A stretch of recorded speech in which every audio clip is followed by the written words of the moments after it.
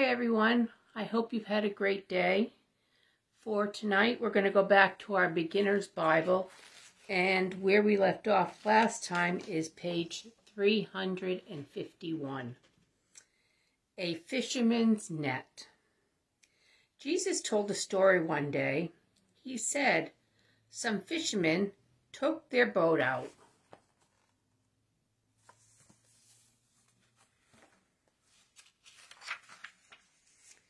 They threw their net in the water. All kinds of fish swam in the lake. When the fishermen returned to shore, they dragged their nets out of the water. They looked through their catch, said Jesus.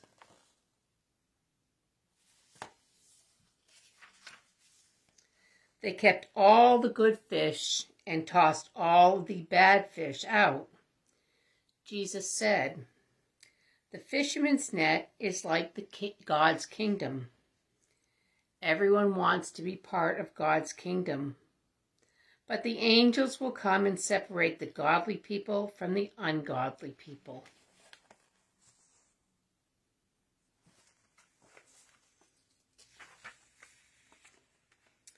The godly people will live in heaven with me forever. Jesus feeds ten thousand feeds thousands. Jesus and his disciples were tired. They needed a quiet place to rest. So they got into a boat and pushed off from shore. A crowd followed the boat.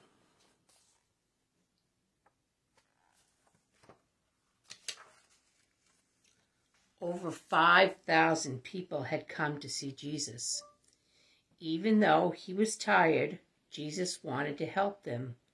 He climbed out of the boat and he began to bless and heal many people. Later that day, the disciples said to Jesus, It is getting late. These people should go home and eat dinner.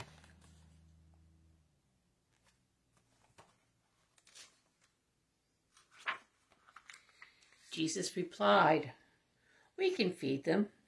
See if anyone has any food to share. The disciples found one boy. He had five loaves of bread and two small fish. Jesus said, Bring the boy to me. Do you think five loaves of bread and two fish are going to feed 5,000 people? Let's see, I bet Jesus can make it work. The disciples asked, how will so little food feed so many people? Jesus said, You will see. Have the people sit down. Then Jesus took the bread and he gave thanks to God. His disciples gave bread and fish to everyone. To their surprise, there were twelve baskets were left over. Twelve baskets is more than they even started with. Jesus walks on water. Jesus told his disciples to go on ahead of him. Then Jesus walked up a mountainside to pray. Storm clouds filled the sky. Jesus could see the disciples in the boat. They were having trouble.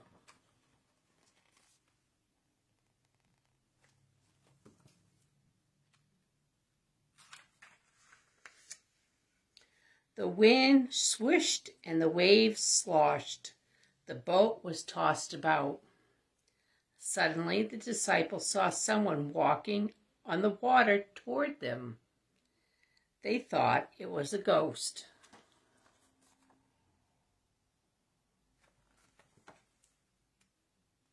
Who do you think's walking on the water? Jesus called out to them, It is I. Do not be afraid. The disciples still weren't sure. Peter said, If it is really you, Jesus, let me walk out to you.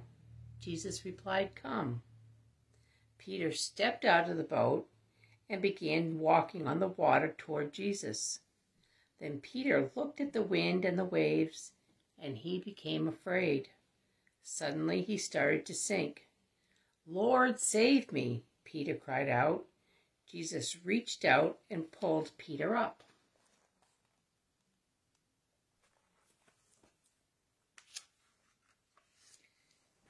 Why didn't you trust me? Jesus asked Peter. They climbed into the boat and the storm stopped. The disciples worshiped Jesus. They said, Truly, you are the Son of God. The next story is called Jesus Heals a Blind Beggar. Jesus and his disciples saw a blind beggar. He had been blind since he was born. The disciples said to Jesus, Teacher, did this man sin, or did his parents? Is that why he is blind?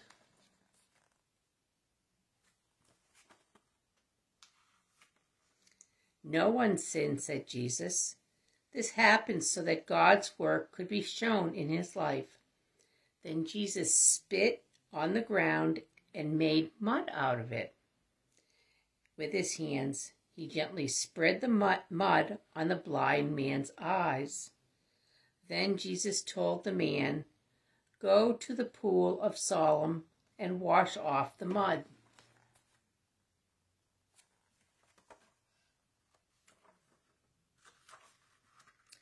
As soon as the mud was washed off, the man could see. Everyone was amazed. They wanted to find out more about Jesus. The next story is called Money in a Fish. It was time to pay the temple tax. This money was used to fix up the temple. Remember, we've said a temple is a, like a church. One day, some tax collectors said to Peter, Jesus does not pay the temple tax, does he? Peter replied, Of course he does. Before Peter could ask Jesus what to do, Jesus told him, Even though I am the Son of God, I will pay the tax. Go fishing. Take the first fish you catch. Look in its mouth, and you will find a coin. Take it and give it to the tax collector. It will pay for my tax and yours.